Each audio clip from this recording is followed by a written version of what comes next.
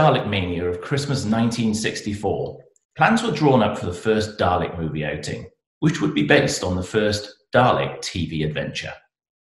Released in 1965, Peter Cushing took on the role of Doctor Who and battled the Daleks on the planet Skaro in full and glorious Technicolor. The movie Daleks had been designed to take advantage of the film's colour format, and they didn't disappoint. Our next guest on Time Space Visualiser worked on that movie as one of the Daleks, and it's my pleasure to introduce Bryan Hands today to chat about his memories of working on that film. Hi there, Bryan, how are you? I'm very well, thank you.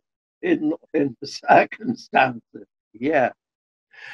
Uh, and I have to um, start by introducing you um, to uh, my own, very own Dalek, uh, Rusty. Uh, this is Bryan, Bryan Rusty. Um, something you remember very well, I'm sure. I do indeed, yes, yes. Um, they were, as I recall, a bit uncomfortable to sit in, but and you had to be sort of lowered in, and then they put the top on.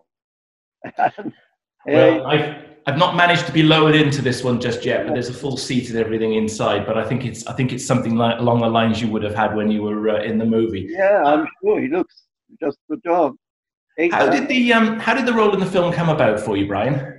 well, that is um, ironic in a way.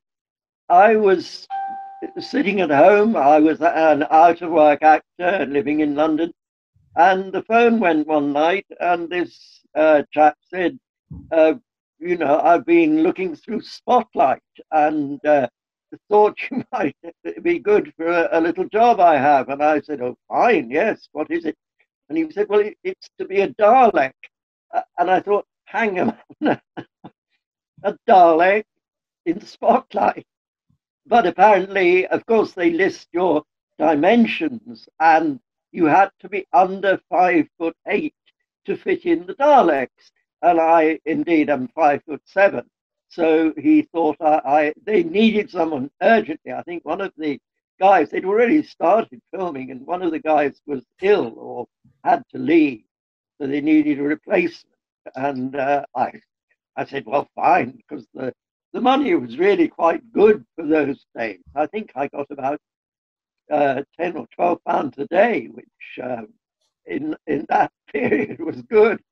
So I went along I thought, oh, well, a couple of days.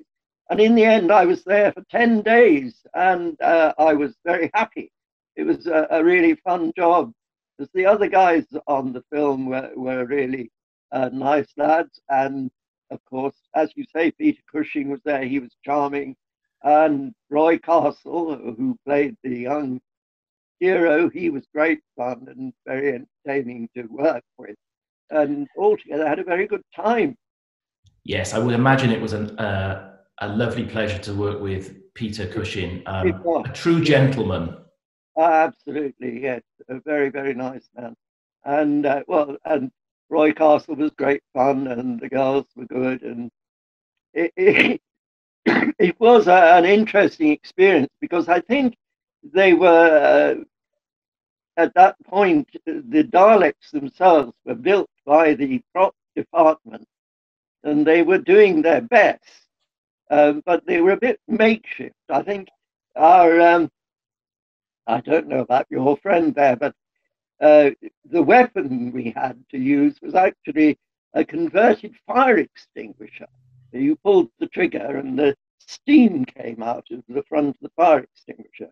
And of course, the um, the plant, the uh, I don't know what you call it, but anyway, the, the weapon is actually was a a, a dish a washer extractor, uh, a plunger for, for, for freeing up drains, and of course you had the the, head which you could really uh, had to um, shift around and uh, operate the uh, the eye on the end of the stalk there, and uh, at the same time trundle it round with your feet, sitting inside and using your feet to, to maneuver the Dalek, which um, was at times quite complicated, but it seemed to work. And, uh, was it quite a heavy um, prop to be moving around? Um, yes, it was, but I mean they were on sort of quite um, substantial casters, and it wasn't too difficult to move it around. But uh, and uh, often on the shot they would position you, and then you just sit there and and use your your weapon to, when required. Uh, and of course, we actually did speak the dialogue, although it was never, um, it wasn't recorded. Uh, it was overdubbed later on by the voice of the Daleks. Uh, the guy, whose name I can't remember actually, but uh, he did all the voices. So you would have you would have had to have learned the script along with the other actors. Oh yes, yes. So you could come in on cue when required to to do the uh, manoeuvres, and of course the I don't know the, our big scene was at the very end when when the whole uh, control center Dalek uh, the the spaceship exploded around us. And I remember we were slightly alarmed. I think it was before health and safety was became such a huge consideration. We were positioned in our Daleks around the uh, the control center, and I think it was Roy Hudd, stand, a stand-in for Roy Hudd was brought in, and they they'd wired up all the the panel and the, and the boxes with tiny explosions, and they uh, and people said, "Oh well, you stay there because you're all right in the in the Daleks," and everybody else was cleared off the set. And on cue, the whole thing exploded around us, slightly alarming at the time, but it was okay. We all survived. So. And it's quite an epic explosion and quite an epic um, kind of battle sequence at the end. Yeah, um, and you're quite right. Health and, health and safety wasn't first and foremost in the movie industry back in the 60s. Not then, no. Um, yeah, I think because the, the Thals, the Thales, the uh, uh, they they were all cleared off the set, but they thought, well, you're all right, so you can stay where you are which was quite fun, really. They, they, mm. thought, they thought you were safe, but. Um... Yeah, in our Daleks, yeah, which I suppose we were actually, they were fairly substantial. um, what um, what other challenges did you have during filming? Was it was it quite a smooth run, or, or were there were, were there some hiccups at any point?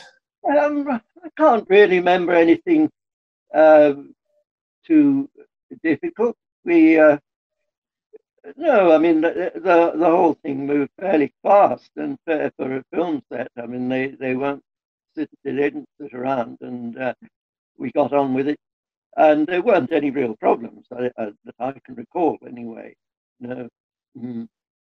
And and how aware of, you had, had you been of actually Doctor Who on the TV at that point? Were, were you aware of the sort of premise of it? Yes, I mean I'd seen um, the, the TV uh, adaptations uh, and versions myself, and I knew I knew who the Daleks were, and uh, it was uh, it was just great fun to be involved in the actual film. I remember the the other we all became quite um, good friends, the Dalek operators, and we used to sit around between shots playing uh, cards, pontoon and I've, I've, somehow got a picture of you all sat with just half a Dalek base all around the table. You're all sat in your Dalek bases playing cards. I've just got a vision there. well, um, no, you actually had to come out of it. You couldn't stay in half of it, as it were. It, it, uh, they they released you. We had to be put in them and then closed in. And They put the head on and then it, it which kind of swiveled on its own axis uh, and then then yes. you were there for the duration, in fact, for as long as it took. You've got to have um, you've got to have quite a bit of um, agility because you've got the eye stalk, the the two handles here. You've got to move the Dalek around, as you said. You've got to be quite talented in there. Oh. Were, you, were you able to use the um, Were you able to use the, the props during rehearsal in any way?